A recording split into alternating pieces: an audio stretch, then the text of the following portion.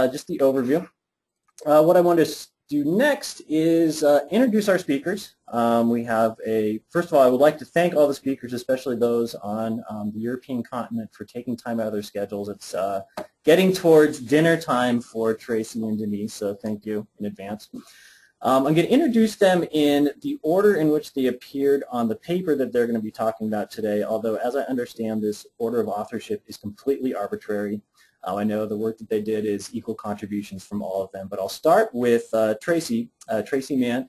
She is a professor of psychology at the University of Minnesota. Uh, her work looks at how people control their health behaviors after deciding to make a change, and she focuses mainly on dieting and eating, but also does some work with smoking and exercise.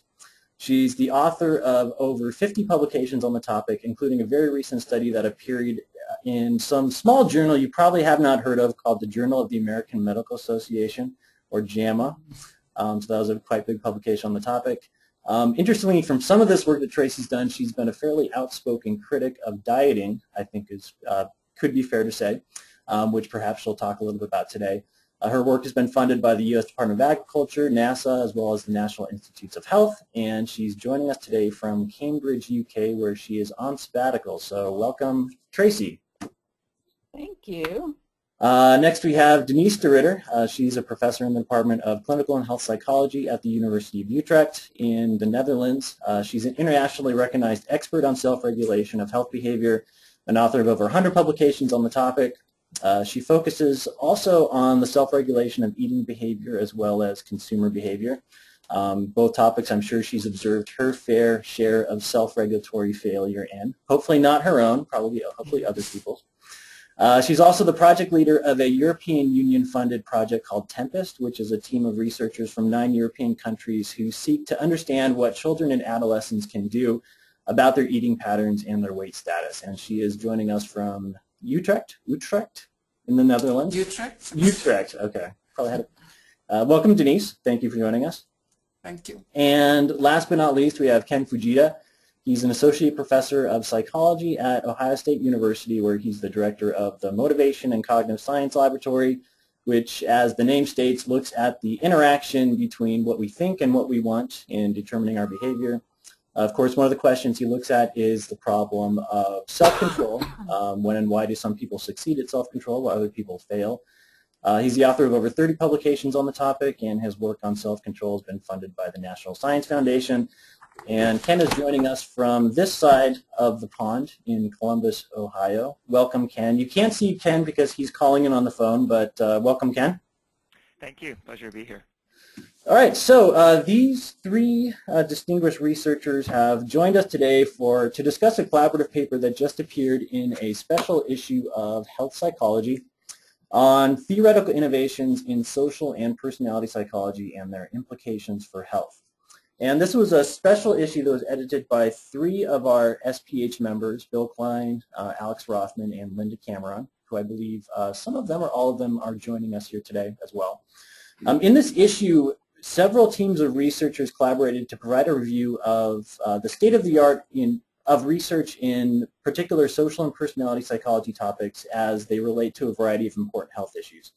And so Traci, Denise, and Ken, they were tasked with the job of reviewing the literature on self-regulation and their implications for health, which I'm sure was no small feat. And they're here today to talk a little bit about the work that they did, uh, what they see as some of the challenges and the opportunities in this area, as well as to answer any questions that you have about this um, very timely area of research. So I think the first question I would like to pose to them is a very simple question, just so everybody's on the same page. What is self-regulation? Maybe it's a simple question. I'm not sure if it has a simple answer, but I thought I would pitch it to you guys just so we know what we're talking about when we talk about self-regulation. So who wants to take it? Do you want to go first, John? Yeah, go ahead. Oh, okay.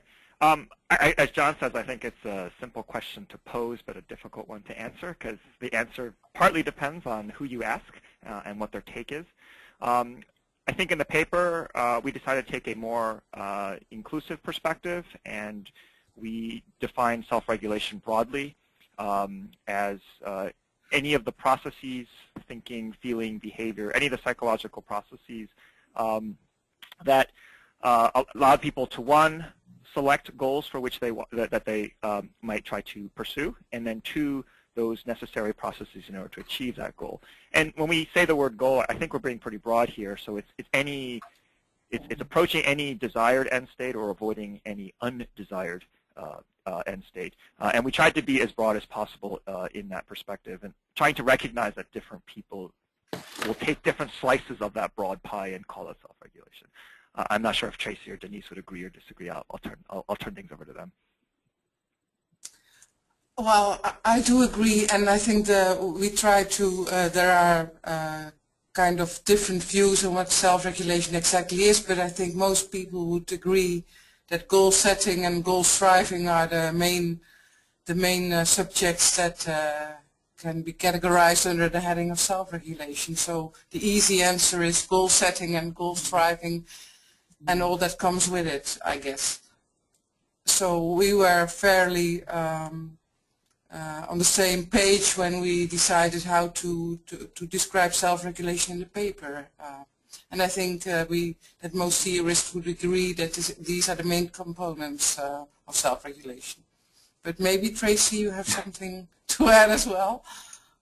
I mean, I didn't. I just felt like we didn't want to really split hairs on this issue. We just wanted to give a really sort of basic overall definition of self-regulation without.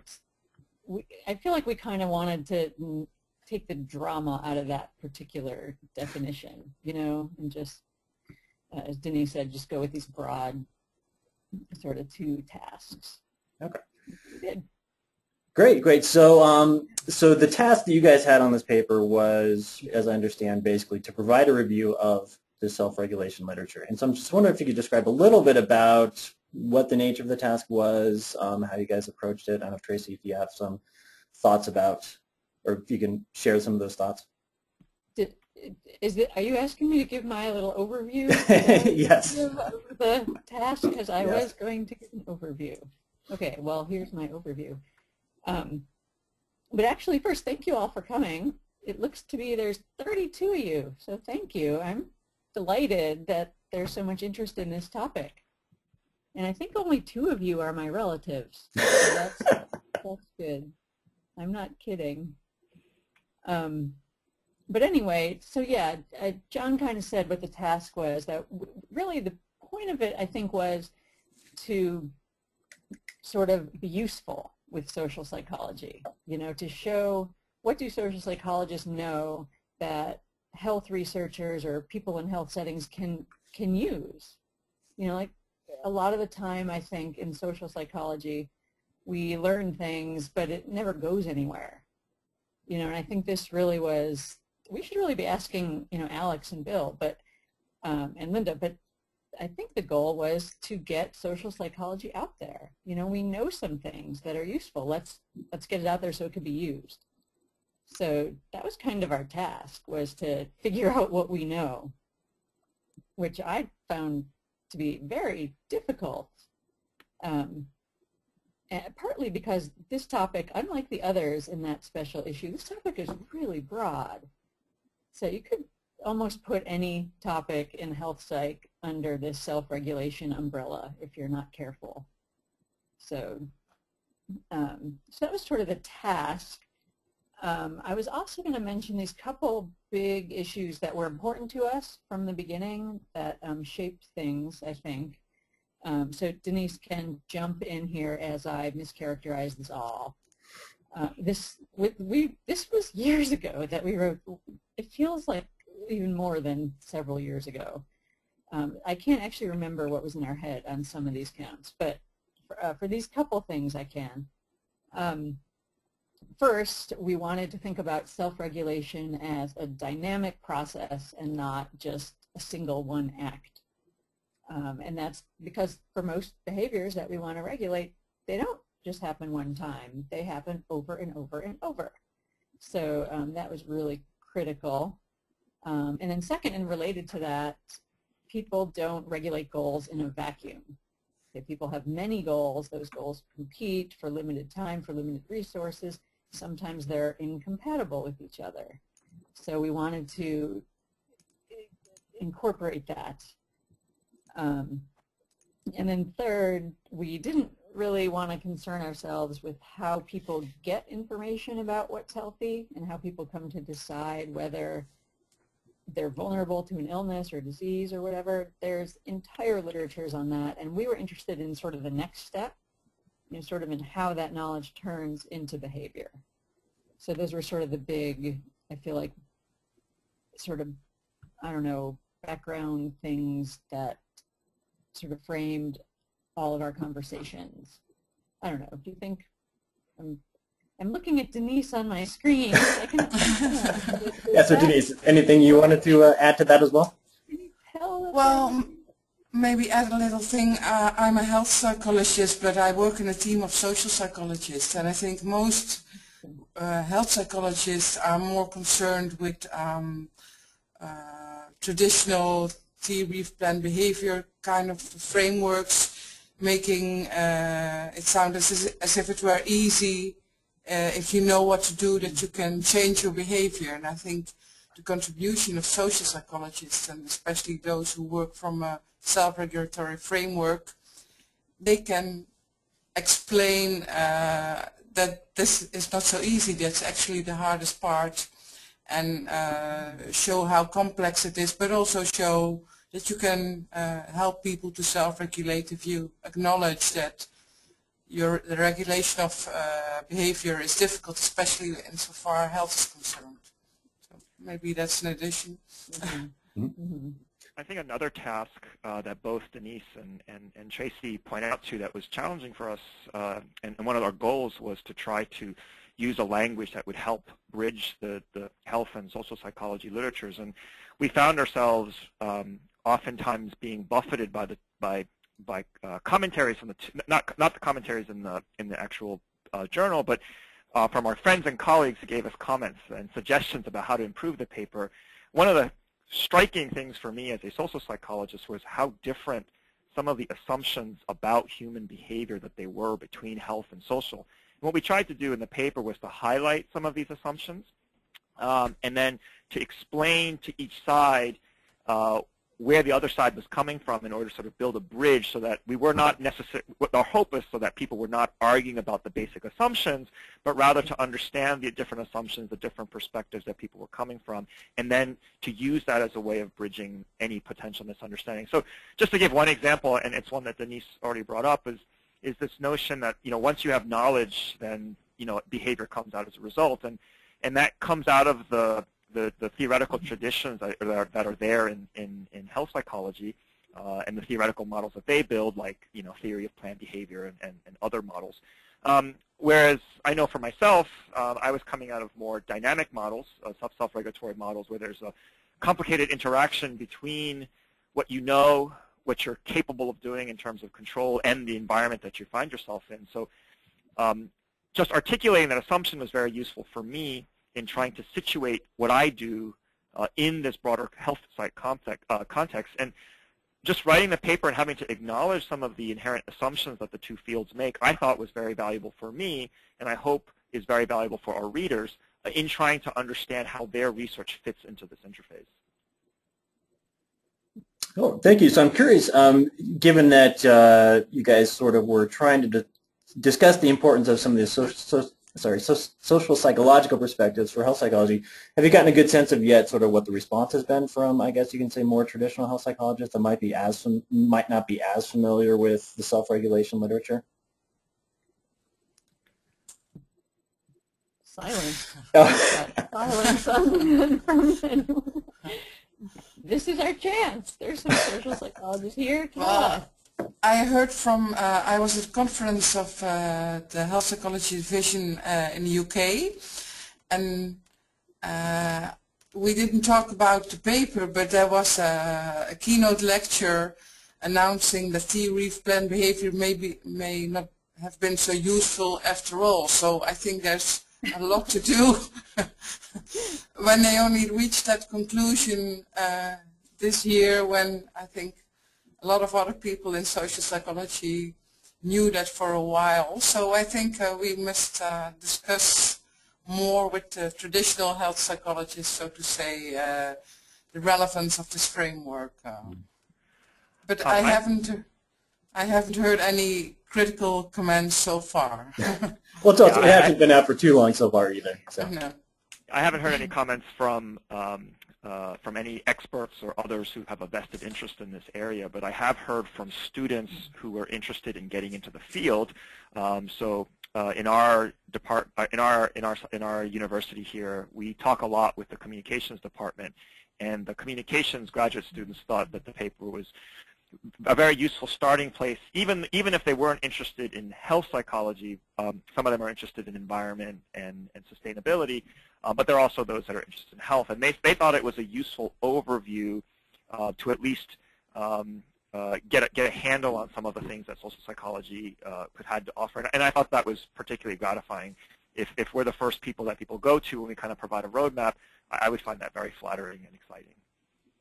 Yeah, great. I mean, I think, I mean, I certainly read the paper. I think it was a phenomenal paper in terms of just, you know, laying out the issues really clearly, but also, I mean, I think it's self-regulation. I mean, it seems to be, it's, it's definitely, correct me if I'm wrong, it seems like it's a topic that's sort of becoming a hot topic nowadays. Do you guys have the same sense that sort of, I'll judge by the registrations for this brown bag. People love the topic. I'm just wondering where, um, do you see sort of self-regulation as being something that sort of become a huge topic just in recent years, or where where is the interest coming from?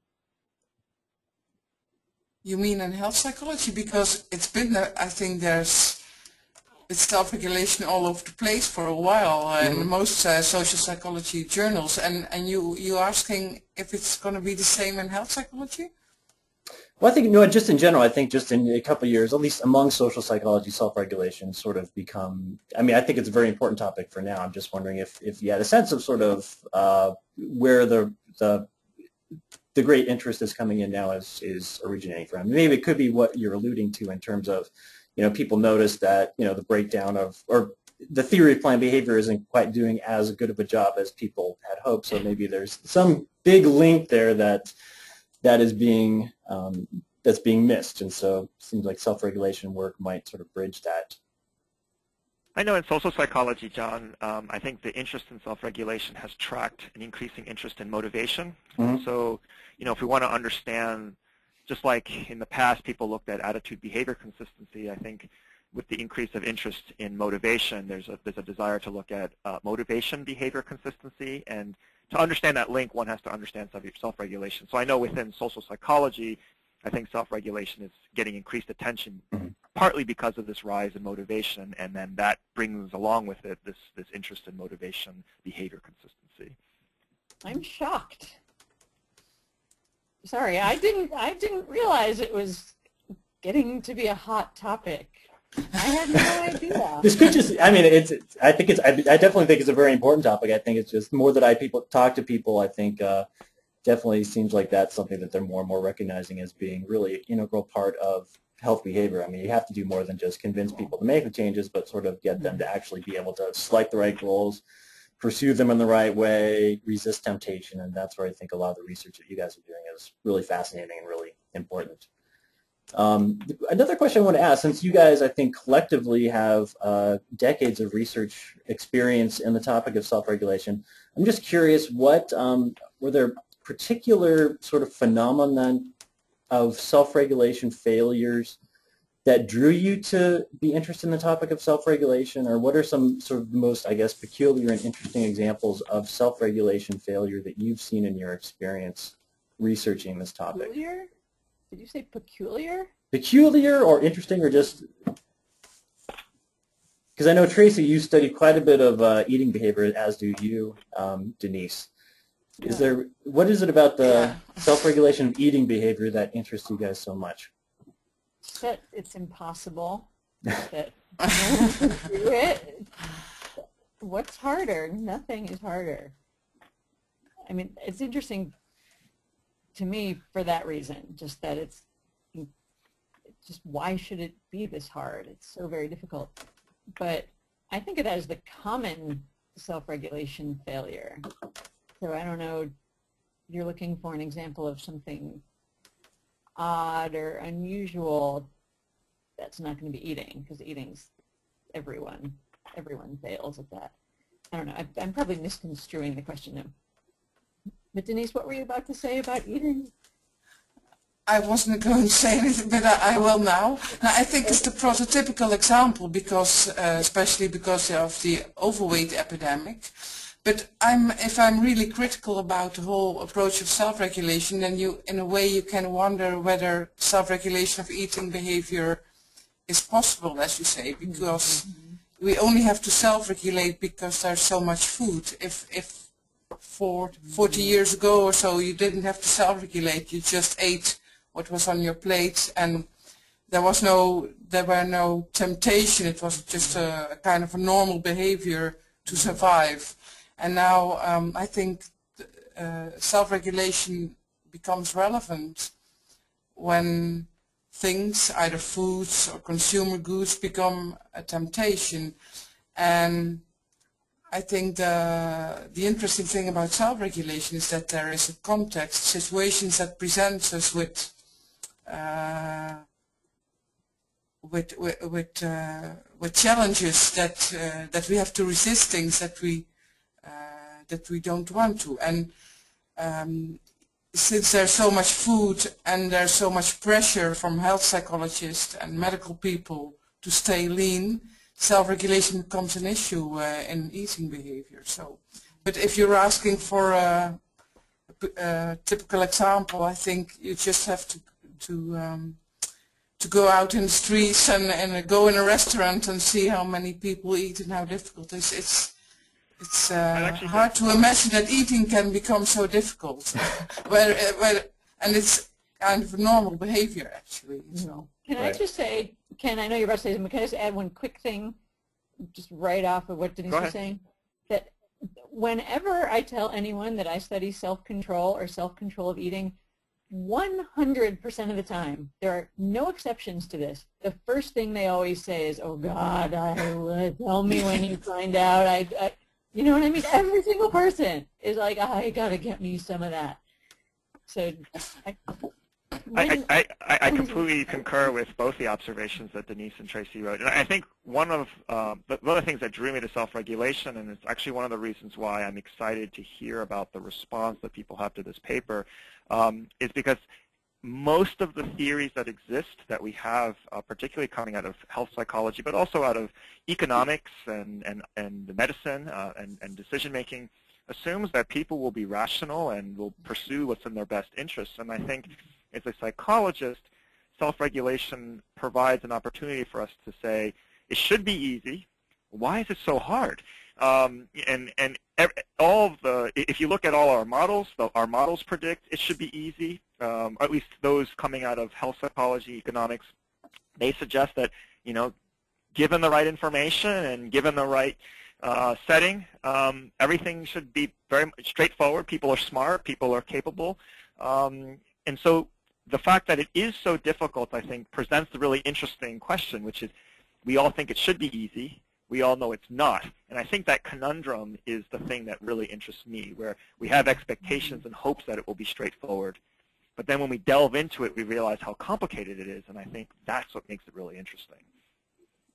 Hmm. Yeah. Um, Another question, uh, also, I've, I got some questions I can ask, but if anybody in the audience also has uh, questions they'd like to pose to the presenters, uh, please uh, raise your hand or uh, type in some questions into the chat box. Um, one question I wanted to ask you guys um, is sort of in the review that you did for the paper and also just your awareness of the self-regulation literature. Um, I'm just wondering what um, what do you guys view as sort of some of the most exciting and interesting new directions in research on self-regulation? um, whether it's your own work or the work of colleagues that you have. I'm just wondering if you can sort of share uh, what you think um, some of the most interesting directions are and also I guess the second question I could pose is what are some areas of research that there's really nothing on, we know nothing about and really are just prime for people to start investigating? I, uh, can I say something? Uh, I think uh, also following up on the previous question, we were talking about self-regulation, but 90% of the time it's not about self-regulation success, but about self-regulation failure. Just as Ken said, we know uh, that it could be done, but why is it so hard? So I think one of the under-researched areas is self-regulation support. how can we, and I don't mean in kind of therapy or training, but more in, in providing people with contexts or social norms or situations that may, may guide uh, self-regulation. Now, it seems that we create environments that make it even harder for people to, self, to do what they actually want to do and make it uh, extra challenging either whether it relates to health but also when it comes to consumption of all kinds of goods or spending versus saving. So as psychologists I think uh, we now are much have been focusing much on goal setting and goal striving but maybe it's time to move on and see how uh, not tell people that they should set different kinds of goals or think of other ways to pursue these goals, but think of ways to to create environments that help make it easier to pursue those goals. And I think that's really under-researched. I, I As a completely agree with. Denise. I I completely agree with Denise. And related to this is um, some of some of the work that I find really exciting is uh, using terms that Roy Baumeister has used himself. Um, the differences between playing defense and playing offense when it comes to self-regulation. Um, so as Denise points out, we really do focus on failures. And we don't know very much about the people who you might refer to as the super regulators. Um, and so a lot of our insights come from people who are struggling. And one might ask the question, should we not should we should we not study those who are remarkably successful? And so rather than trying to develop interventions based on our studies of people who are not doing the task well, why don't we base interventions based on the people who are actually succeeding and doing well? Um, and so, so you know, you, you wouldn't want to learn how to fix a watch by throwing a watch in the water and then watching it, trying to fix it once it's waterlogged. You would want to take a watch that was fully functioning and taking it apart while it's working. And I think, I think there's been a movement, although I think, you know, I, I actually would like to see more of it, of us not focusing on failure, but us mm-hmm. focusing on success and understanding, as Denise says, the situational factors and, and, and, and the mindsets that promote success in more of a proactive kind of way, as opposed to trying to understand, how, instead of avoiding failure, wouldn't it be nice to study approaching successes? And sort of just to even go like one notch maybe more specific, um, and you guys probably, I don't know, maybe you won't agree with me at all, but it seems to me that we will have, we'll be able to study success better, we'll be able to focus on that more if we stop focusing on the one strategy of willfully resisting temptation and start focusing on the uh, what I think of as the smart strategies is in a Denise's um, her uh, saying that, that, that you have there, uh, if you can't be strong, you have to be smart. You put that thing in the paper. Yeah. Um, most of the focus has been on the strong type strategy, that brute force strategy of resist that thing that's there. And, uh, and that's why I feel like the focus has been so much on failure, because that strategy seems, it's really fragile. That's a tough one. It's not going to hold up so much, I think.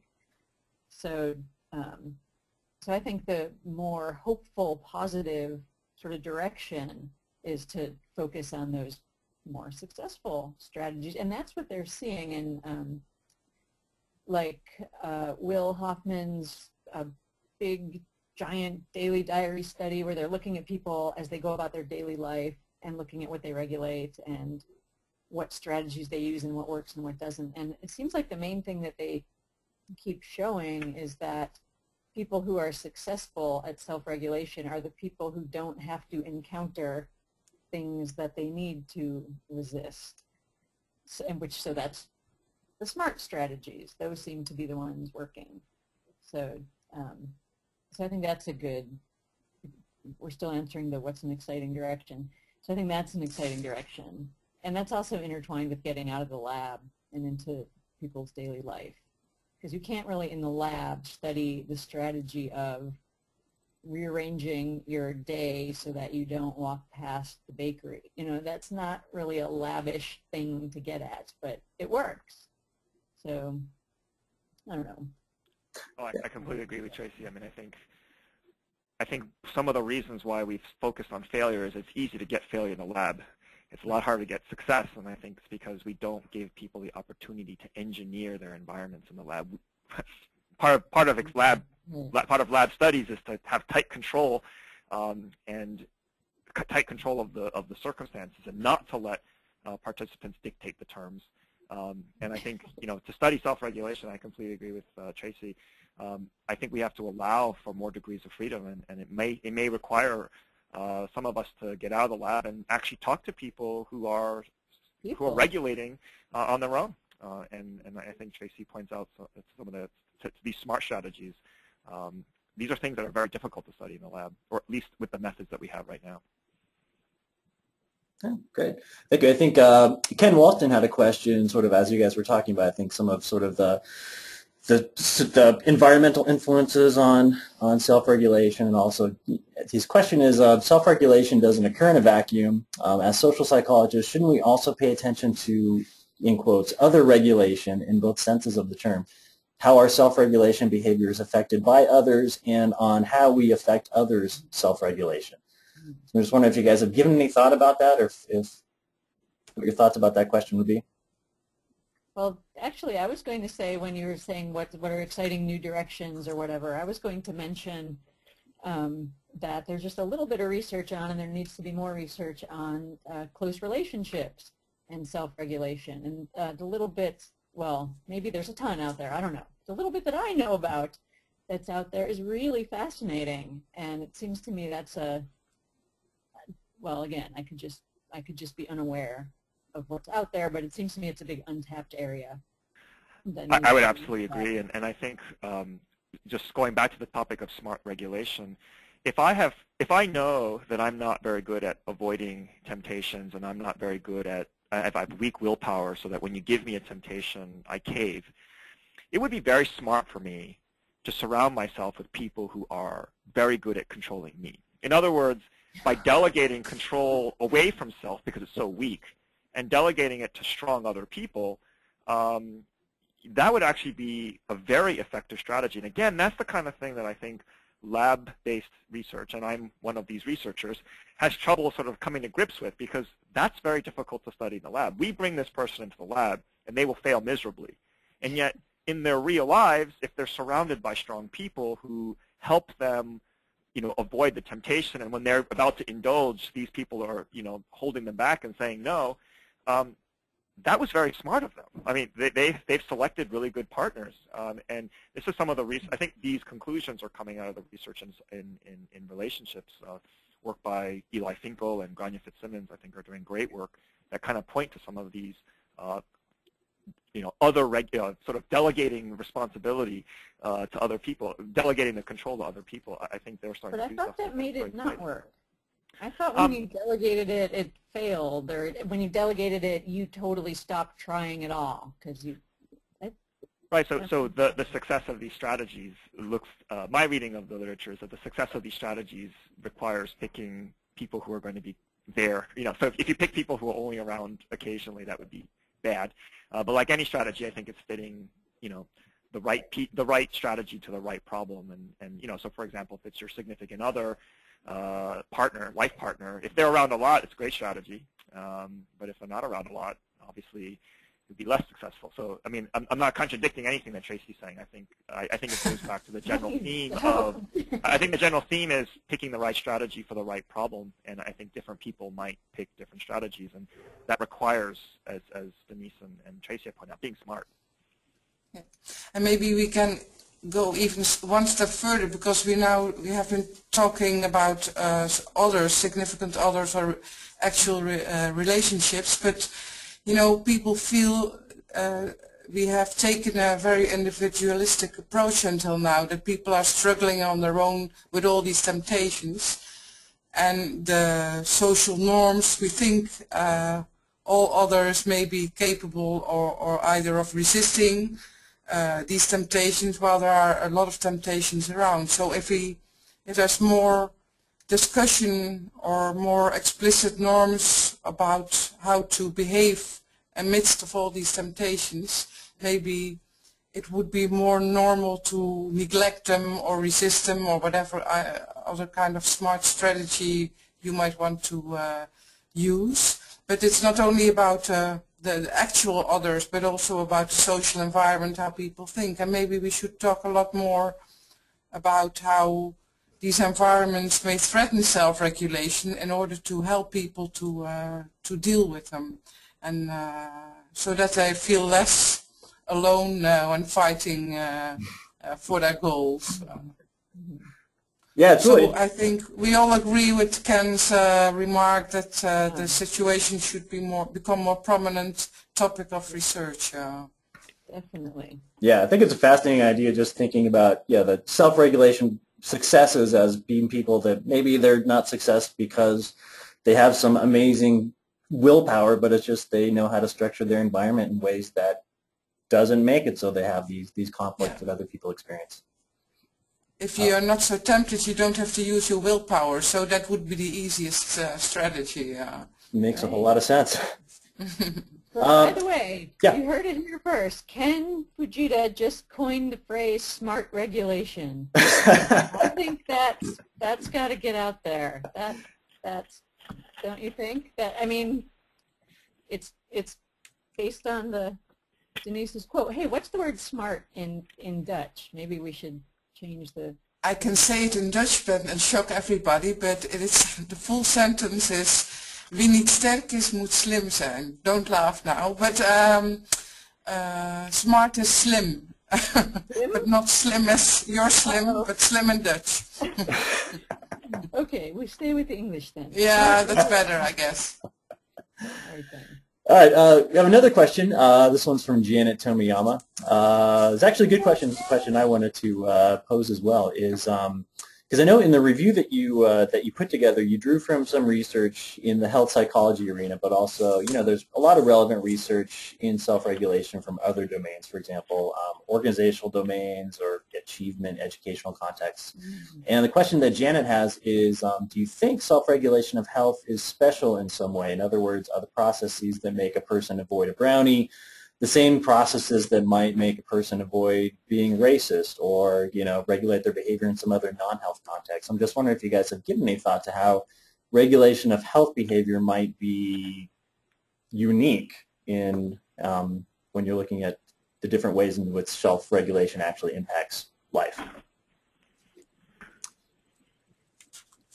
Uh, well, I, I have some thoughts about it. I think self-regulation of health and uh, is even harder than in other domains because health is, well, in the Netherlands at least, people uh, think the health is the most important thing in their life and they would, uh, it's more important than, for example, safety or relationships. They value health a lot and still they do these irrational things. So because it's so important and because it's so difficult, I think self-regulation of health is more challenging even than uh, self-regulation of your work performance or study performance. It's a way of a, a personal impression, but I think health is harder just because it's so important and so difficult to deal with. But maybe other people have some other observations. Traci or Ken? It's funny because health, I agree with you. Health is harder, I think. Um, and if you're going to talk about eating, that's a whole separate ballgame because you're dealing with, you know, physiological pressures and whatnot. But in general, I think health stuff is harder to regulate. And it's weird because the motivator is the strong, I mean, it's the strongest motivator. It's death. You know, it's like if you don't do your homework, well, whatever, you're not going to die. But the fact that it's so hard to regulate these health-related things despite them having the, the, the, you know, the most horrible motivator of all is, I think, is amazing. I think that just shows how hard it is. Because I, that's not I, from a from a social psychology perspective, I'm not sure that health is qualitatively different in terms of its processes, but I completely agree with Denise and Traci. I do think it's harder. Um, I think people are more defensive about it because it's scarier. So I think the stakes are all higher when it comes to health. So we are more we're more resistant to change because considering change is, is scary because it means considering, I mean, as the terror management guys have highlighted, considering a change of behavior means accepting that my current behavior is encouraging negative, you know, the impending end of my life. here. We're sort of accelerating it. Um, and so there's greater resistance in the forefront. And, and two, health has a way of, is one of these motives that, that, that is, is in the background and it doesn't really bother us until we have concrete evidence. And usually by the time we get concrete evidence, it's too late. So it's one of these really interesting self-regulation problems where it's very much about, it's, it's a lot better to do preventative stuff, but that's the very situation in which we're the least motivated to do it. Um, and so I think in, so I, I, think in terms of the psychological processes, I think they're more or less the same, but I, that's not to then diminish the challenges because I think yeah. health provide, because the stakes are so much higher when it comes to health and because we're, you are generally only concerned about health when it's, when it's a problem, not when it's okay, um, it, it, mm-hmm. it, becomes hard to, to get it on the, on, on the front burner as opposed to the back burner. And, and for this reason, I think it's a mm. really interesting challenge. Yeah, I mean, we tried in the paper to you know, to highlight things that we thought would be universal, that weren't just about health. That, and, and as you said, John, it came from literatures that weren't health literatures, a lot of it, some of it. Good. Uh, another question I want to ask uh, is, given uh, the work you've been doing and also the research that you drew from in writing review, um, what do you think um, seem to be some of the most uh, promising potential interventions for improving people's self-regulation ability? Have you seen anything that even comes close to approaching a uh, what you might call a magic bullet or, or something that really seems to be the way to go to get people improved? We've all been talking about smart regulation. I know that's an idea. I mean, is there? It oh, seems like seems like that would work, but it also doesn't sound like there's tons of research on that yet. I would put nudges in the category of smart regulation mm -hmm. because they're changing the environment, they're changing the situation so that you don't encounter the unhealthy thing or, or um, the unhealthy thing becomes less, uh, less likely of a, of a choice. So in that sense, that I think that would, again, not a magic bullet, but I think it would fit. So one of the things that I think is uh, really exciting and, and, and, and really is kind of emerging from the research that is being done on the, the need for uh, the need for belongingness as well as from self-affirmation research is is if we can tie health to more than just health, uh, it appears that a lot of research would suggest that, that it's more motivating and thus then helps promote uh, greater self-regulation and greater learning about what works. Um, so one of the things I was struck by, I had the opportunity to work with some gastric bypass surgery patients and oh. trying to talk about, you know, it, it, weight loss itself is not a particularly motivating, it's not a particularly energizing goal. Um, but what was really interesting to, for me in talking to them, and, and, and sort of I think the literature more broadly speaks to this, is the importance of others. So as soon as you tie health to connection to others, being there for others, that others depend on you, that you want to be there for others, you care about other people, um, just how much more motivating that was and how much more it was people were then willing to engage in practicing self-regulation and improving on it. Um, it's not really a self-regulation intervention, it's more of a motivational intervention, but I think it's one that's inherently social psychology, and that, that's what I find very exciting about it, that the, somehow linking health to how much I care and want to be with other people uh, seems to be very powerful, and I think the literature from social psychology would suggest that a lot could be done with it. I don't know how much has been done with it, um, but I, I was I'm, i think there's enough coming out of the social psychological literature right now that would suggest that it would be very powerful. And I wonder if, in addition to combining that with some kind of so using others uh, or my connectedness my connectedness to others as a motivator, and then some kind of educational intervention whereby you you, you teach people how to you know strategically go about promoting their goals I think the combination of those two things of motivation and ability are, are, are provide an a really exciting opportunity. I think if I may add something, that there are a lot of exciting ideas, just like the, uh, the one Ken is talking about, that health is a, is a long distance goal and people want to want to have mm. some rewards more and more uh, immediate, uh, in the more immediate future. But I think most of these great ideas haven't been translated in formats that we can deliver to normal people uh, in medical settings. And I still think there, there is a great need of new ideas because in these medical settings there's a lot of emphasis still on education, uh, increasing motivation without people helping to do the real thing, what we expect from them. So I think uh, if we can think of ways to translate our exciting ideas and test them in a, in a medical or professional setting, that would be great because there hasn't been, there, has, there isn't so much uh, research available uh, in terms of interventions for patients or or preventative interventions. And there's that's another thing for the research agenda. I think uh, if we want to promote self-regulation uh, beyond the lab. Great. Uh, speaking of uh, research agendas, there's a question from uh, Linda Cameron, one of the editors for the uh, for this special issue. Um, she asked, did the process of writing this article influence your own research in any way? That is, did you start any new studies or make changes in projects as a consequence of this collaboration? Totally. I completely did. I'm serious. I mean, from these conversations with Ken and Denise, I really started to think a lot about these different strategies and which ones worked for who and when. And um, I definitely started, done any research. Well, I mean, I've definitely started planning and wrote a grant to uh, do that exact kind of thing. Uh, Right, right around when Bill Hofmann's paper came, Will Hofmann's paper came out. I'm sorry.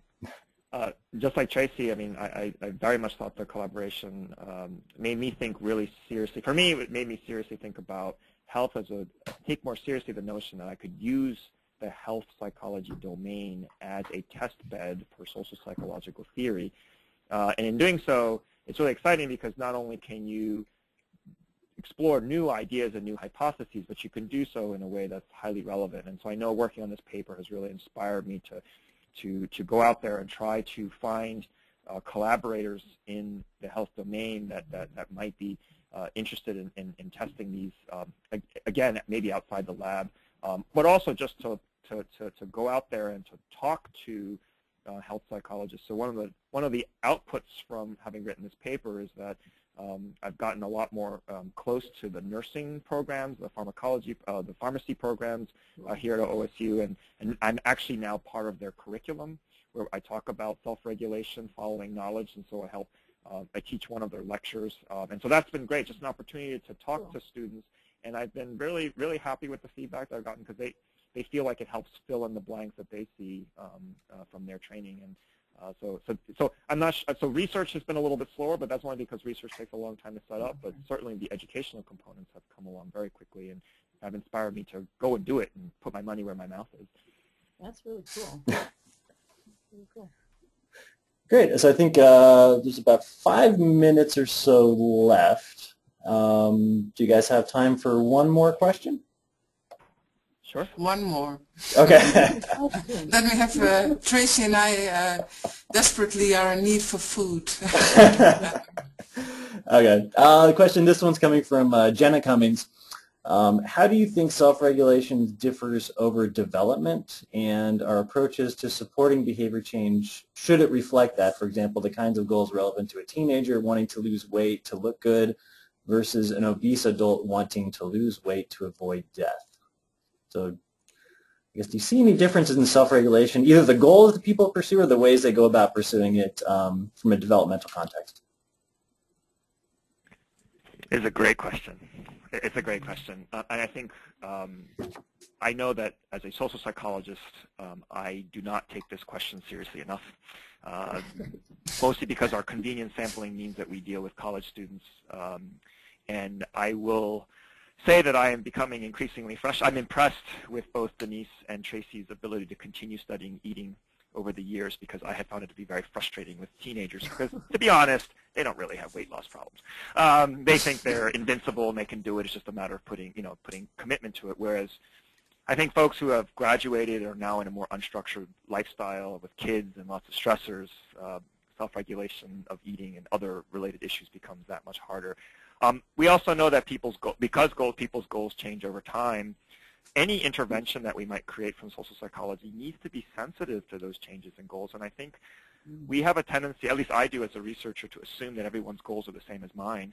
Uh, and it, it, I've, I'm, I'm, increasingly learning that it's very important to talk to the intervention folks so the, to, to, really get to know the phenomenon before uh, we swoop in there and say you should do this and you should do that, which is you know really arrogant uh, to think that you know everything and that simply um, you know that, that, that simply implementing the procedures will make everything uh, come out magically. Uh, I, I, do think um, I, know that one of the lessons that I learned and have been learning uh, from doing health psych research is is that these are things that we have to be sensitive to. Uh, we know, for example, older adults, they're more interested, less in improvement and more interested in um, enjoying positive affect and positive experiences.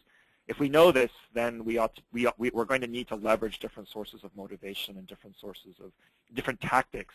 Um, you know, the, the, the role of others might be more sensitive during certain periods of time than others.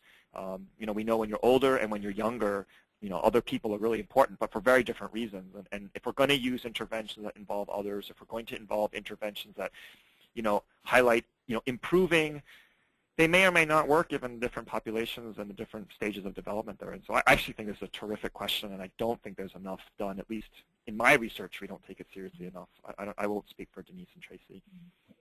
No, I, I have nothing to add. I think you, you, you're completely right that we, we don't uh, take account of, the, of these uh, developmental differences and these stages enough before uh, we don't do we do research with college students or with adults but we well we record their age but that's that's all.